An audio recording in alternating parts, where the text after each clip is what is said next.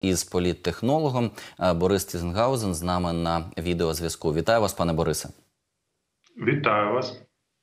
Ви знаєте, сьогодні ми спілкувалися з Миколою Маломужем і генералом армії України, і власне коротко пригадали історію пов'язану з тим жучком, який знайшли у кабінеті Залужного. Е, І я зацитував ще слова е, генерал-майора запасу СБУ Віктора Ягуна, який зазначив, що прослушка була фейковою, несправжньою, але е, нібито все це було сформовано для того, аби створити певний шум в інформаційному просторі, е, і аби з'явились потім діпфейки і е, ті вкиди, до яких звикла Росія. І тут головне питання, напевно, для українців е, знову ж таки наша інформаційна гігієна. Наскільки ми звикли відсікати так такі діпфейки і все те, що нам вкидають. На вашу думку, чи є тут така загроза після ось цієї новини про жучок у залужного? Ні, такої загрози немає. Е, дійсно, там ситуація наступна. Ем, Один з кабінетів, який залужний до цього не використовував, це е, коли перевіряли, знайшли там е, неробочу, тобто прослушку, яка там вже була давно, ще за часів там інших президентів, але потім дрот залишили, мікрофон залишили, але пристрой, який записує, питає, ем, запитує і е, надсилає сигнал, їх не було. Тобто, якщо зараз взагалі перевірити е, кабінети в у Кабміні, у офісі президента, там теж можна багато старих е, всяких дротів знайти. Тому так і є. Я одного часу був присутній, коли перевіряли взагалі е, безпеку офісу тоді ще адміністрації президента, і там багато чого знайшли. Там зараз є такі пристрої, які взагалі не потрібно встановлювати у кабінеті, можна дистанційно, але є там протидія. Ну тобто, це дійсно була прослушка. Її знайшли, але це не, не прослушка, яку там планували може слухати залужно. Але те, що головнокомандувач повідомив про те, що її знайшли, я вважаю це е, правильно.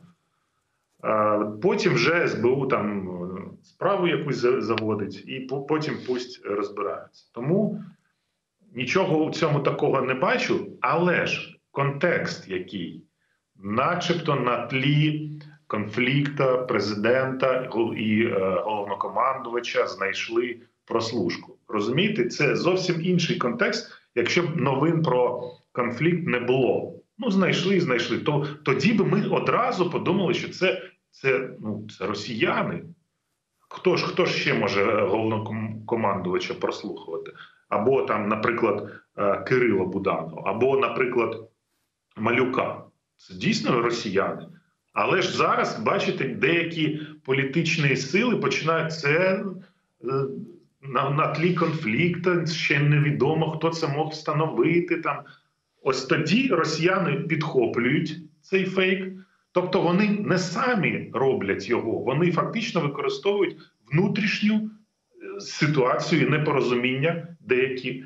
І е, нещодавно теж е, дослідження було, що росіяни просували фейк про Резнікова, що там доклалися рука Кремля, але ж не вони його створювали. Росіяни дійсно беруть якісь, е, е, якусь новину, яка може болісно або там повпливати на суспільство, або е, знищити трошки репутацію України і українського військово-політичного керівництва. Потім роздмухують і е, упаковують і туди на Європу, на Сполучені Штати через своїх колумністів, лобістів. В них там, в них там е, дуже багато таких персонажів. Тобто, ну основний урок для українців також не роздмухувати кожну таку новину для того, щоб потім у ворога не було шансів дійсно маніпулювати інформаційним простором. Але хочу вас запитати: ви дійсно е, зазначили, що у нас є такий спадок, що у багатьох кабінетах можна було б знайти рештки якихось пристроїв, які раніше використовувались, тому що ми розуміємо, що у нас було багато проросійських партій, проросійських депутатів, політиків, урядовців. А зараз яка ситуація? Наскільки е, оточення? Рішення президента е, в, в Кабмін чи е, в наш чи наша Верховна Рада е, люди можуть довіряти один одному, і ми мінізували вже ті ризики, що у нас досі є ось ті проросійсько налаштовані, які готові і, і жучки ставити, і решта всього, аби допомагати ворогу. Ну, я вважаю, що там більшість жучків, які встановлювали за різних президентів, встановлювали наші ж спецслужби. Ну по різних причинах.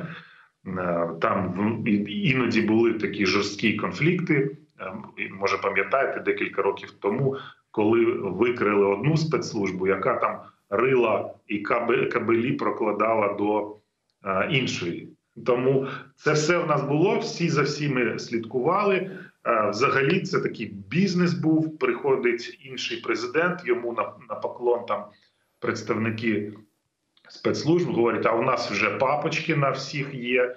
Ну, це у спадок передавалося. Тому, на жаль, е, це є і було, і буде в нас, якщо ми там трошки там не змінимося. Тому не вважаю, що е, росіяни встановлюють, і взагалі їм потрібно встановлювати жучки у кабінетах, щоб дискредитувати когось. Та зараз багато інших способів прослушка телефонів, месенджерів, там все що завгодно.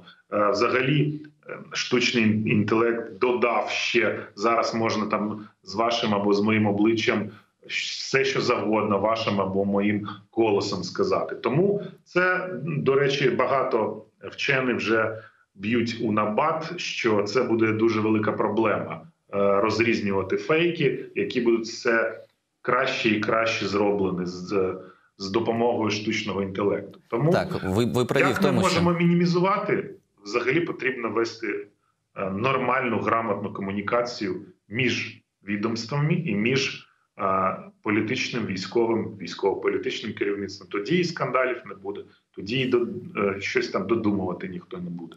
Ну що ж, поки що дійсно тоді чи довіряють політики один одному, чи урядовці один одному залишаємо для них. А ось кому довіряють українці, я хочу з вами детально обговорити, тому що є результати соціологічного опитування Київського міжнародного інституту соціології.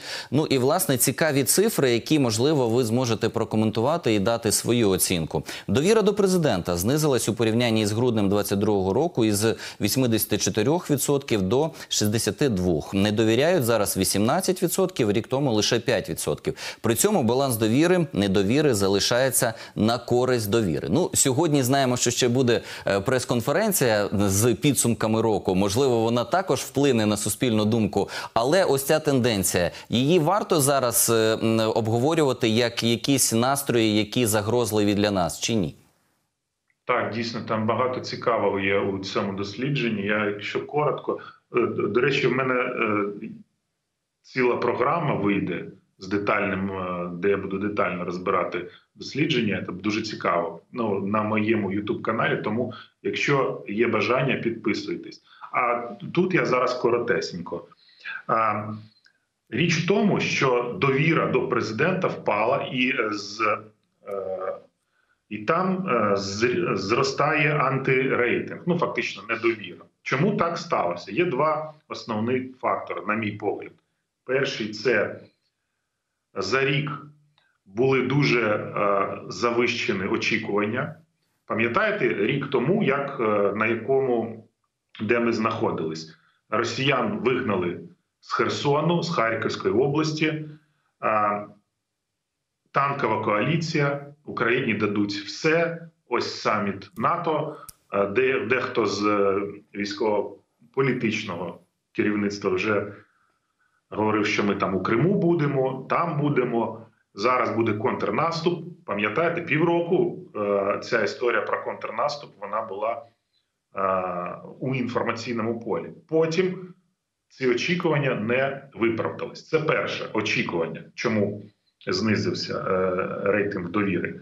І друге, це тому, що екосистема президента це репутаційна екосистема, це Кабмін, це Верховна Рада, і це фактично усі чиновники, які там в Україні є. Е, і кожен скандал корупційний з депутатом. Да, до речі, партія теж це репутаційна екосистема президента. Кожен скандал впливає на президента у тому числі, тому що репутація це фактично там як з'єднані сосуди. Тому скандали, скандали, скандали, корупційні скандали теж. Потім ми пам'ятаємо, після саміту НАТО пішов перекос комунікації з нашими партнерами і зі Сполученими Штатами, і з Польщею. Ну там багато було. І міністр оборони Великої Британії нам теж дорікав. Ну, в общем, е, така історія. А у Залужного в нього ну чому в нього фактично трошки виріс рейтинг довіри, тому що його екосистема репутаційна це ЗСУ. А до ЗСУ стабільно 94 чи 95 зараз не Так, зараз 96, так, а у безпосередньо у Залужного е, рейтинг складає зараз 88% людей, які йому довіряють. Але я відразу запитаю вас стосовно президента. Е, Тоді виявляється, що ми неправильно усвідомлюємо, е, в якій країні ми живемо, тому що у нас парламентсько-президентська країна. А ми ніби цю всю вертикаль відповідальності намагаємось перекласти на одного президента. Тут же напевно потрібно поглянути тоді рейтинги краще Верховної Ради чи того Кабміну, які катастрофічно втрачають, і не зводити це все до ролі однієї персони в країні. А це неможливо, тому що всі е, е, так чи інакше асоціюють депутатів від Слуги народу з президентом, Кабмін з президентом чи офісом президента. Формально ми там, е, ну тобто, ми повинні так, якщо здраво сісти, так це не президента провина, це, наприклад, депутат X, так, але ж все одно навіть. За, з, запізна реакція чи відсутність реакції на дії того чи іншого депутата. Ну, простий приклад: Миколай Тищенко. Його вже виклю, виключили з партії з фракції вже після того, як він колосальної шкоди е, завдав репутації партії, там Таїланд і все інше. Ну, ми пам'ятаємо це. І те ж саме з іншими депутатами, міністрами. Тому це може формально ми і не повинні провину тільки на президента, але ж е, фактично так воно і є. Тому що президент е, взагалі вирішує всі кадрові питання в Україні. Ну, практично. Так, на жаль, але якщо поглянути дійсно окремо на е, рейтинги, які зараз сформовані у Верховної Ради і у уряду нашого, то дійсно вони втрачають. Верховна Рада довір недовіра до неї зросла до 61%, а уряду не довіряє зараз е, 44% опитаних. І тут знаєте дійсно цікаве питання. З одного боку, ми пам'ятаємо там чвари, скандали, якісь розслідування стосовно конкретних персон. Але ж є е, прекрасний шлях того, що зараз нас е, приймає європейська спільнота. Прекрасне рішення 14-15 грудня були. Е, нас підтримує світ, виділяються кошти. А все це робота наших урядовців і наших е, політиків, які в тому числі влаштовували е, політичний такий десант в інші країни і домовлялись про це все. Але виявляється, не спрацювало. Довіра до них дуже падає. Чому так, зрештою? А тому, що більшість роботи уряду залишається у тіні десь там 99%. Я це дуже добре знаю. Наприклад, для того, щоб отримати черговий транш, е, потрібно там провести, коли я з міністром спілкувався з Марченко, він мені розказував, що потрібно там провести там 50 чи 60 зустрічей, там купу дзвінків, купу документів підготувати.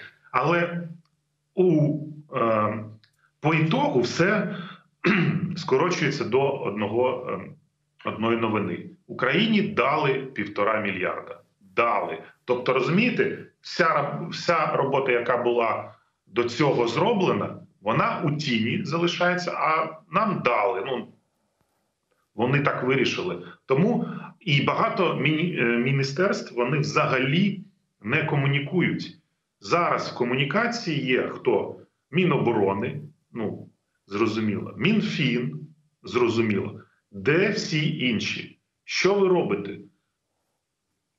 Ну, Так, знаєте, тут гарне проблема. питання. Дійсно, ми е, достеменно не знаємо, чим вони займаються, тому що інколи навіть не відстежуємо у кого яка зона відповідальності у президента, у кабінета міністрів чи у Верховної Ради України, а потім не знаємо з кого запитувати. Але з іншого боку, коли нам не вистачає новин про їх успішну роботу, ми беремось за новини, як змінюються їх статки. І після того, як е, Нацагентство з питань е, запобігання корупції відкрило доступ до єдиного державного реєстру декларацій, у нас знову з'явилось дуже багато питань. Звідки автомобілі на мільйон, е, звідки інші якісь е, незрозумілі речі, які з'являються під час війни, і можливо саме це вплинуло на рейтинги, які зараз сформовані до е, депутатів і до урядовців.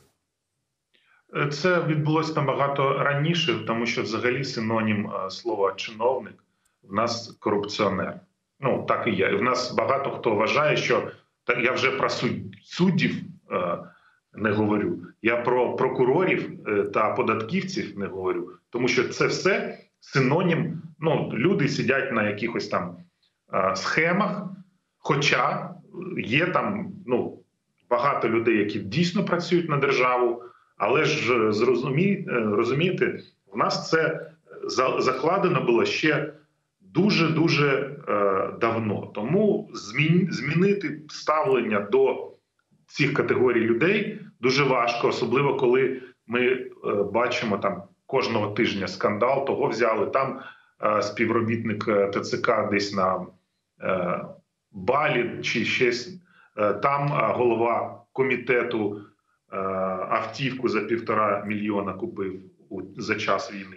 Може він і може собі дозволити це. Може він з бізнесу прийшов, може йому там спадок якийсь. Але ж ми ж розуміємо контекст. Поки там люди останнє фактично там вже дав, давно проїли заначку чи там збереження, які були, поки люди взагалі е, кінці з кінцями не можуть звести, хтось е, ось так себе поводить. Тому Так, ну і досі знаходяться гроші у банках Російської Федерації та будинки в Іспанії і інших країнах, так нерухомість е, за кордоном. І ну видається так, що впродовж року, тому що я нагадаю, що е, в кінцевий термін подання декларацій буде до 31 січня 2024 року. Ми побачимо ще дуже багато таких несподіванок і неприємних сюрпризів. Але якою має бути правильна реакція суспільства в стані війни? Розумієте, е, правильна реакція. Я не можу зараз прогнозувати правильно чи неправильно, але для тих, хто е, у кого в деклараціях з'являються нові маєтки, нові авто, їм треба розуміти, що те, як реагувало українське суспільство до війни, і те, як воно буде реагувати зараз, це буде взагалі дві дуже різні речі. І е, не хочу, як то кажуть, погрожувати, але ми вже ми вже бачили, як людина, яка повернулася з фронту, е, зреагувала в Закарпатті депутат на те, що він е, ну, вважав несправедливим. Він приніс гранати, і це не взагалі так не повинно було відбуватися, але він це зробив, тому що він так вирішив. І тому, що після закінчення війни таких випадків, на жаль, буде набагато більше. Тому нам потрібно працювати з психоемоційним станом, тому нам потрібно працювати не тільки з тими, хто буде повертатися, а й з тими, хто е, їх очікував тут, чекав їх тут. І тому в нас там багато-багато роботи буде, але ж ну, це, на це все потрібні гроші, люди, кваліфікація, по-перш за все. А цього в нас, на жаль, немає у достатньому у достатньої кількості. Так, ну розуміємо, що нам потрібно вчитись реагувати на це правильно і по закону, тому що таке беззаконня, як ви згадали про гранати і вибухівки, такого не повинно бути. Але розуміємо, що багато буде необлікованої зброї і ризиків виникне вдосталь. Але і високопосадовці мають приборкати так свої апетити і настрої, е, який стиль життя і якість життя у них під час війни. Але це вже не нам вирішувати. Дійсно, ми можемо з вами тільки обговорювати результати, так які ось потім витікають в такій дослідження. І хочу ще у вас запитати, тому що от кілька цифр цікавих в Україні зберігається висока довіра до волонтерів, і це е, ну ніби добре, тому що ми розуміємо, що нам потрібно донатити, нам потрібно підтримувати ваш наше військо. 84% українців довіряють, але е, знизилася довіра до українських змі. Ну і тут, напевно, це десь і наше недопрацювання.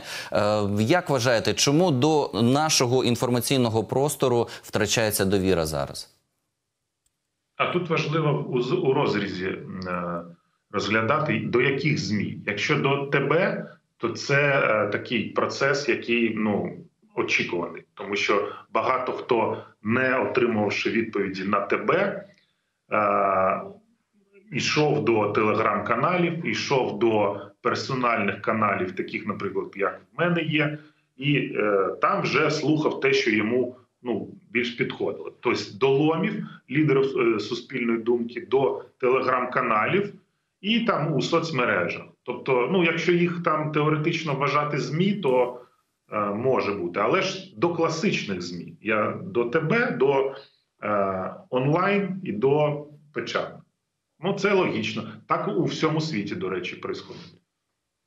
Ну що ж, будемо вірити, що дійсно питання тільки у тому, що глядач йде у YouTube, глядач йде у телеграм-канали і дуже так таргетовано, точково обирає собі е, ті кан- канали зв'язку, яким він довіряє, і звідти черпає інформацію. Наостанок ще хочу запитати: стабільно втрачає довіру е, громадськості. Церква, Е, і тут дуже цікаве питання: чи це відбувається зміна поколінь, і молодь вже не так палко е, прихильна до релігії, до церкви, е, до таких питань? Чи це ті проблеми, які у нас були з е, умовно е, відділенням московського патріархату, і все те, що е, вийшло на поверхню, всі ті проблеми, які виникли? Чи є якась ще третя складова, а- а можливо їх і більше?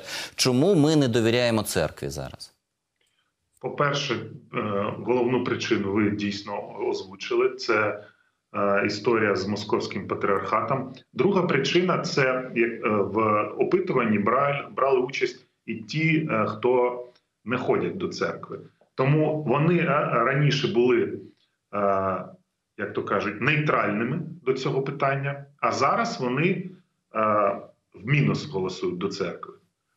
Тому що московський патріархат, там папи і все, Гундяєв, там все інше.